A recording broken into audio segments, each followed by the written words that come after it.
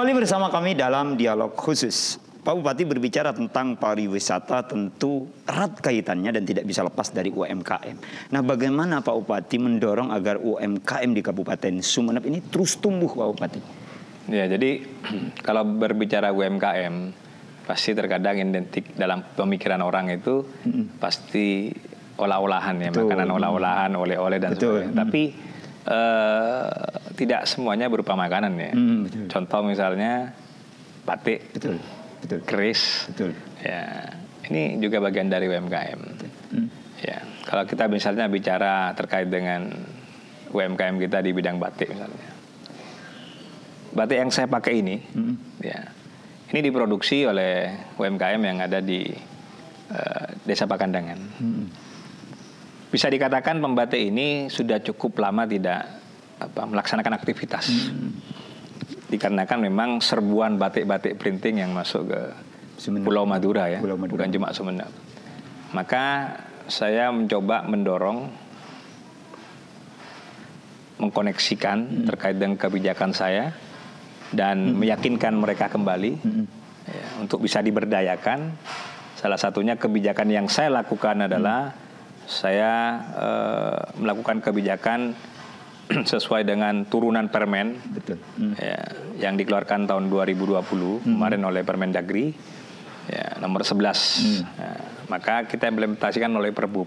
Hmm. Nah, jadi kalau hari Senin itu keki, Selasa hmm. keki, Rabu baju putih, hmm. Kamis hmm. itu hmm. pakai baju batik, batik. Hmm. Jumat itu pakai baju batik juga. Hmm. Maka pada saat itu saya keluarkan kebijakan untuk hari Jumat batiknya pakai batik ini, hmm. agar UMKM kita hidup kembali. Hmm. Maka secara otomatis begitu saya melakukan kebijakan batik Jumat itu pakai batik pakandengan hmm. dengan motif yang dikeluarkan mereka seperti ini, hmm. maka secara otomatis batik kita akan hidup kembali. Hmm. Bayangkan ada 9000 ASN. Betul. Dan dan ASN ini tidak mungkin beli satu, beli UMKM dua. jadi hidup gitu. Iya, 18 Lapangan ribu. kerja akhirnya juga terbuka. Otomatis itu. Hmm.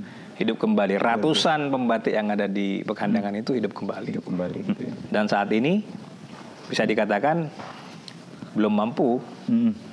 melayani, melayani jumlah kebutuhan gitu ya. hmm. dan permintaan yang hmm. saat ini diminta oleh hmm. seluruh ASN kita. Pak Bupati, ya. yang viral, ya. yang hari ini tengah viral. Bu, bat, salah satu batik Sumeneb yang dikenakan oleh Presiden Jokowi dan ini luar biasa ini nasional jadi perbincangan ya. nasional.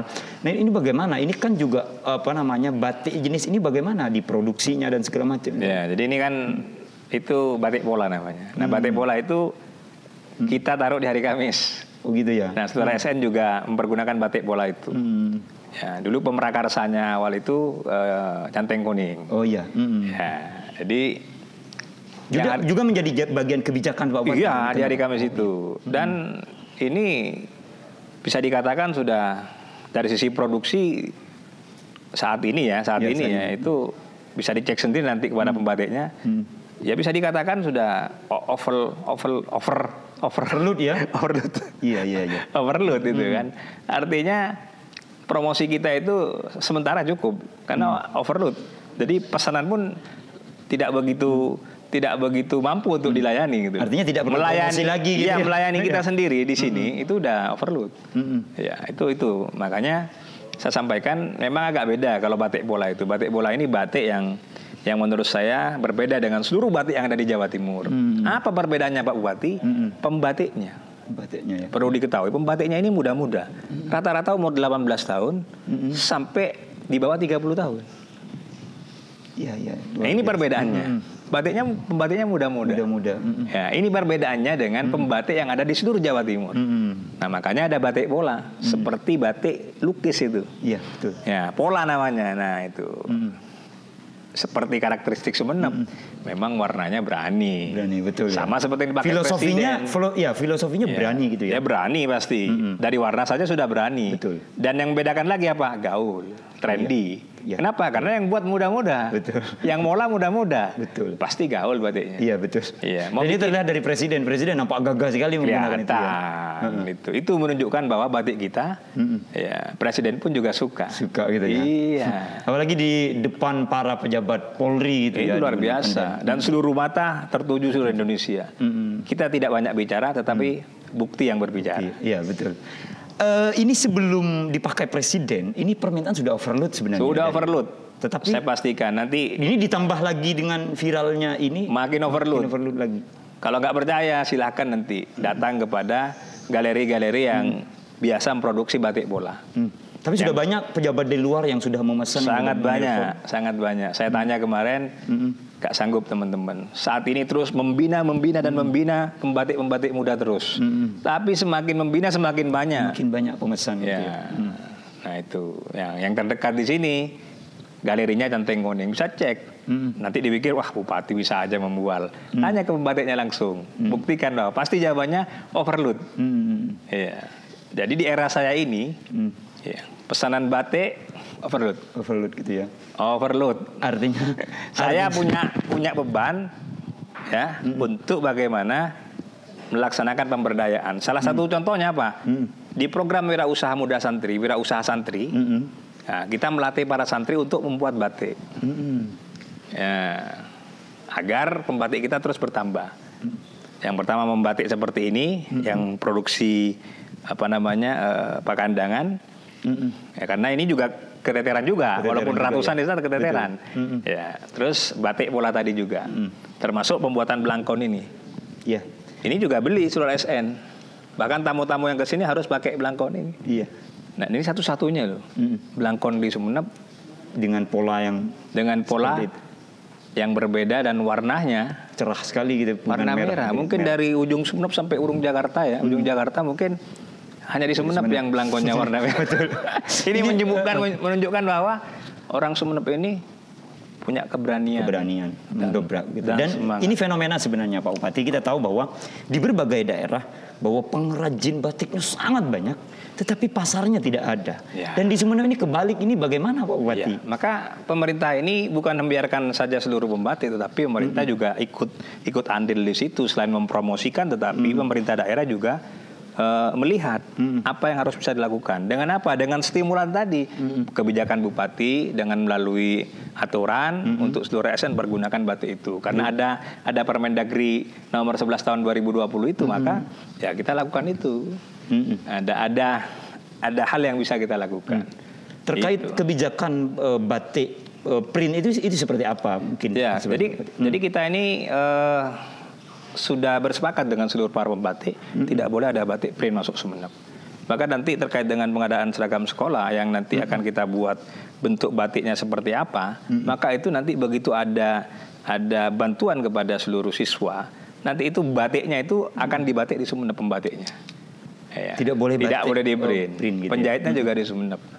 Nah ini akan meng menghidupkan seluruh UMKM hmm. yang ada di Kabupaten Sumeneb. Lapangan pekerjaan begitu terbuka. Semuanya, gitu ya. Termasuk pembatik, termasuk penjahit, termasuk pembuat belangkon. Betul semuanya. Artinya kerajinan-kerajinan seperti itu nanti mungkin apakah uh, tadi juga berbicara tentang hari jadi Kabupaten Sumeneb. Ya. Apakah event itu juga akan menjadi salah satu uh, pertunjuk event yang menunjukkan kreativitas uh, para pembatik juga? Ya itu mm -mm. itu pasti arahnya ke sana. Hmm. Ya. Tetapi kan kita ketahui marketnya sudah overload. Iya, ya. artinya kalau tidak di sisi, perlu promosi dulu. Ya, kalau di sisi batik ini hmm. kita bisa dikatakan overload. Hmm. Nah, kalau di sisi makanan dan minuman memang ada tahapannya UMKM kita. Hmm. Ya, ada ada hal yang harus kita lakukan. Hmm. Identifikasi beberapa UMKM yang harus kita kelompokkan. Hmm. Oh ini kelompok menengah, ini kelompok atas, ini kelompok bawah. Hmm. Ya, ini bisa bertarung di regional, ini nasional, ini lokal. Hmm. Contoh misalnya nanti kalau teman-teman keluar dari sini, hmm. pasti begitu keluar dari keraton pasti dilewatin pintu mall UMKM. Betul. Masuknya pintu Labang Mesem, keluarnya hmm. mall pintu mall UMKM. Hmm. Di situ nanti ada display-display makanan dan minuman dan termasuk UMKM kita semua, termasuk batik juga, termasuk hmm. keris di situ semua, hmm. semuanya ada. Makanan minum juga ada galeri. semua di situ. Hmm. Ya, pusat oleh-oleh lah sebenarnya. Hmm. Nah, itu itu yang kelasnya lokal. lokal. Hmm. Nah, kita lagi lagi bikin yang namanya Halal Hub. Mm-hmm. Ya, program dari Wakil Presiden. Mm-hmm. Bagaimana dengan Halal Hub ini nanti kita bisa meng-create Hmm. UMKM kita itu bisa skala regional dan skala nasional, hmm. bahkan bisa uh, bisa dipasarkan di internasional. Hmm. Nah, itu. Artinya namanya itu, halal hub. Hmm. Gitu. Artinya ke depan terkait UMKM itu masih terus dikembangkan. Terus dikembangkan. Masa hmm. target kita itu bukan hanya lokal, hmm. bukan hanya regional, bukan hanya nasional, tapi hmm. internasional juga. Ini luar biasa Wawati. Yeah. Uh, berdiskusi tentang Kabupaten Sumeneb dan seluruh kemajuannya memang tidak ada habisnya Wawati dan pasti sangat panjang. Tapi waktu juga yang harus uh, memisahkan. Tapi sebelum diakhiri, uh, mohon kepada Pak Bupati untuk memberikan closing statement kepada pemirsa dialog khusus GTV Madura. Dipersilakan yeah, Pak Bupati. Jadi Sumeneb ini kabupaten yang bisa dikatakan usianya cukup tua ya. Jadi 753 tahun. Hmm. Usia yang bisa dikatakan cukup tua lah kalau di Jawa Timur. Maka pasti ada cerita-cerita sejarah yang panjang. Hmm. Ya, dengan dipimpin 35 raja, ya kan, terus 16 bupati ini menunjukkan bahwa ada sejarah panjang di sana. Dari proses Hinduisme sampai proses ke Islam peradabannya. Maka yang ingin saya sampaikan seluruh pemirsa JTV, mari datang ke Sumeneb. Ya, bulan Oktober ini banyak kegiatan-kegiatan, ya, kegiatan-kegiatan event mungkin yang bisa ditonton oleh seluruh pemirsa JTV di mana pun berada. Sambil lalu tentu healing-healing ya, jalan-jalan ke destinasi wisata yang kita miliki. Ya, ada Pantai Lombang, ada Pantai Selopeng, ada Keraton Sunab, ya kan? Ada Gili Iyang dengan kadar oksigen tertinggi di dunia, nomor dua setelah Jordania, hanya ada dua di dunia. Lalu ada Gili Laba dengan uh, divingnya snorkelingnya hmm. ya, bagi yang suka diver-diver ah, hmm. harus ke Gilaba. Ada Pantai Sembilan dengan cottage dan penginapannya dan permainan-permainannya di sana. Juga ada Pantai Kasoki, ada uh, Pantai uh, Kebun Dadap, apa nama Kebun Dadap Timur, ya, hutan mangrove. Terus juga ada apa namanya Bukit Tawaf hmm. di daerah Pagar Batu yang hmm begitu kita ke sana bisa ngeliat dari atas. Betul. Nah, ini beberapa destinasi-destinasi wisata yang masih banyak yang lainnya yang tidak bisa saya sebutkan. Ayo ke Sumeneb, ya, datang ke Sumeneb. Hmm. Sumeneb orangnya ramah-ramah, hmm. Sumeneb orangnya sangat santun, hmm. Sumeneb menerima siapa pun hmm. tamu dari mana pun. Terima kasih. Sumeneb Dosolov Madura. Wassalamualaikum warahmatullahi wabarakatuh. Waalaikumsalam. Terima kasih Pak Bupati. Pemirsa uh, Dialog Khusus GTV Madura, demikianlah dialog khusus kita kali ini dan kita ucapkan terima kasih untuk Bapak Bupati Sumeneb, Bapak Ahmad Fauzi SHMH yang memberikan waktunya kepada kita untuk berdiskusi berdialog tentang Kabupaten Sumeneb, Kabupaten Sumeneb dan kita akan berjumpa kembali dalam dialog khusus selanjutnya dengan topik yang tentu sangat menarik juga.